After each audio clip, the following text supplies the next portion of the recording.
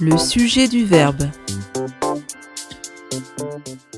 Le sujet du verbe désigne la personne, l'animal ou la chose qui fait l'action du verbe dans la phrase. Le sujet peut être un mot ou un groupe de mots. Prenons un exemple. Mon cousin mange une glace. Mon cousin est ici le sujet du verbe mange. Mais comment peux-tu faire pour reconnaître le sujet du verbe dans une phrase? Pour trouver le sujet, tu dois d'abord chercher le verbe, puis poser la question qui est-ce qui? ou qu'est-ce qui? Par exemple, le petit enfant pleure très fort. Premièrement, je cherche le verbe ou l'action de la phrase.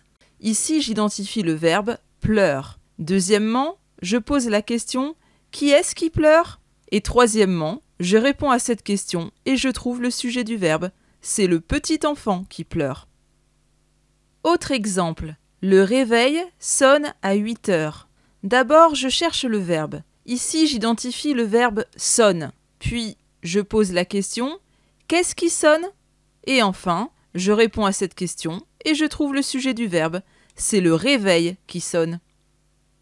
Que dois-tu retenir de cette leçon sur le sujet du verbe? Le sujet du verbe fait l'action. Il peut désigner une personne, une chose ou un animal. Pour le trouver, on cherche d'abord le verbe, puis on pose la question qui est-ce qui suivi du verbe?